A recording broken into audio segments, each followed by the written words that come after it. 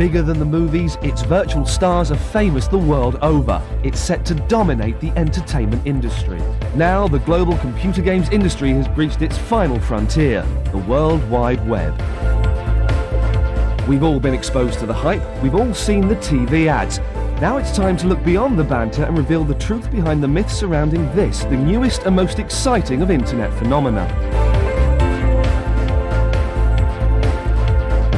Online is definitely the way forward without a shadow of a doubt. It just it adds so much more to just playing against a computer, which at times can be highly entertaining, but playing against your mates or playing against strangers or people in another country, it just adds a whole new element to it. The advantage of online gaming is that it does sort of uh, detach a lot of the stigmas that have been present in gaming before. Um, you know, it gets people together, which is can only be a good thing. But you know, more and more games are, are not designed just for a single player experience, but designed to be like played cooperatively, so that you know you get something out of it by playing with other people. The online gaming pioneer is the entertainment giant Sega. We've been granted a rare behind the scenes tour of their facilities in West London to find out the reality of gaming. How easy is it to play the games online? How easy is it to set up? What games can you play? Is online gaming just another futuristic gimmick? Or is this one company with its Dreamcast console transforming the game playing culture forever and uniting the gaming community into one global gaming forum? Dreamcast offers not only online gaming um, to the users, it also offers an online community. And what this means for our users is not only do they get to play games, they also get to make friends. It really adds a social element to gameplay now. Dreamarena offers a, sort of a whole online portal site to all Dreamcast users. You can check up the latest events, what's going on, new game releases, reviews, previews, um, even some sort of movie news if you're interested in that sort of thing. But it doesn't stop there. It allows you a whole sort of wider access to the net so you can surf as many sites as you like. All very impressive, but are Sega really claiming that online gaming is a social activity? Well, this is the game's development department at Sega's European head office. This department is the ultimate testbed for the future of gaming. Never filmed before, these expert gamers test the software to unprecedented limits and find even the smallest of glitches before the game reaches the shops. If there's one person who knows about online gaming, it has to be Nick Bennett, Sega's lead tester. Here we test all the games, to search them for gameplay problems of any sort, and uh, they're here for quite a long time usually. A title can be here for up to about 12 weeks or so. During that time, both the games and the operators themselves are tested to the very limit. Seven days a week, you don't have to work that, but I tend to like put the overtime in. Normal morning start, nine o'clock, ten o'clock on a weekend, uh, right the way round so it's like early hours of the morning.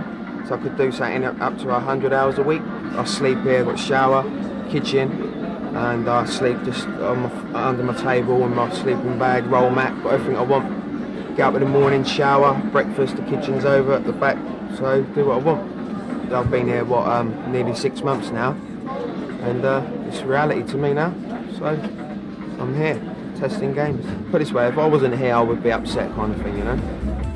Going through relentless testing at the moment has got to be one of the most exciting online games soon to be available on Dreamcast. We've got uh, Quake 3, which is the killer. It's very big on PC at the moment, and at the moment we're having a massive frag fest in the office. Um, but when it's finally released, you'll be able to play up to four other people around Europe. Uh, so you can see who's best. You know, is Britain better than Germany? Germany better than Spain? We'll see. We've got Quake 3 here running, and it allows for up to four people to play online against one another, and also four-player on a single machine as well. Compared to say the PC version of the same game, you don't need to fork out lots and lots of money on a expensive setup. Thankfully with Dreamcast you can play just quite easily just with the normal modem that it comes with. Quake 3 they decided to go all out and just really refine the multiplayer aspect of it and focus completely on that. What, you, what they've ended up with is a really well put together multiplayer game. Quake 3 Arena follows in the footsteps of Dreamcast's first online gaming title. It sits quite nicely alongside ChuChu Rocket, which we see as another killer game. It's been given away to uh, Dreamarena users at the moment for free, um, so get your copy. Um, we see that as another great title. Dreamcast's unique online capabilities not only extend all the thrills of online gaming to millions of new players, but also create a new barrier-free online gaming community. We're all familiar with the launch titles such as Sonic Adventure and Ready to Rumble Boxing, but what online titles are Sega going to spring on us, the unsuspecting public, in the near future? Well, choice seems to be the name of the game.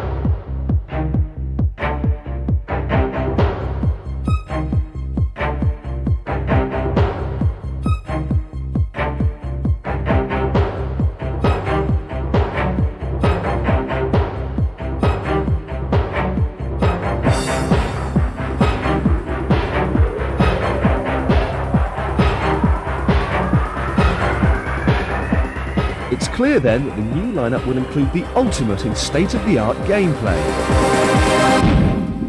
Together with these titles, Sega will also be launching a new addition to its range of hardware peripherals, microphone technology. This is a microphone accessory which is coming out for Dreamcast. All those guys who have got access to Dreamarena, this microphone is going to allow you to have conversations with those people um, via voice messaging or via direct chatting, which is going to be following very shortly, particularly with some gaming applications where you can talk in a real-time sense to them. What I've got here is a uh, new piece of software which we're developing called Planet Ring. I'm going to go to the main game which I want to show you, uh, which is called Dream Dorobo. I simply go into this room and then I can see that there's someone else in there called Dreamy and I'm going to play a game with him. So um, hopefully Sam's here. Sam, are you there? Receiving loud and clear. Thank you very much. Now, which way should I go? Go up the uh, the path upwards. Yeah, that's Up it. here. Yeah, keep going, keep going. And then left, left through the red door. Okay. Yeah, that one there. You got a little bit of a treasure. So the future of online gaming would appear to be assured. But is it really that easy to set up online? We literally take the uh, Dreamcast out of the box, plug it in, fill out the on-screen prompts, and away you go. First initial setup takes about five minutes, but once you've got your password registered, you're talking sort of less than 30 seconds. So we can only conclude that the future of gaming is online, and that the future of online has to be Dreamcast. And what's more, Dreamcast will be the only online games console available this Christmas. Dreamcast is going to be the console for Christmas. There's nothing else like it on the market. It's the only online console and will be for a long while yet. So, if you want to enjoy true online capabilities of gaming, emailing, and web surfing, then there really is only one console to fill your stocking with this Christmas Dreamcast from Sega.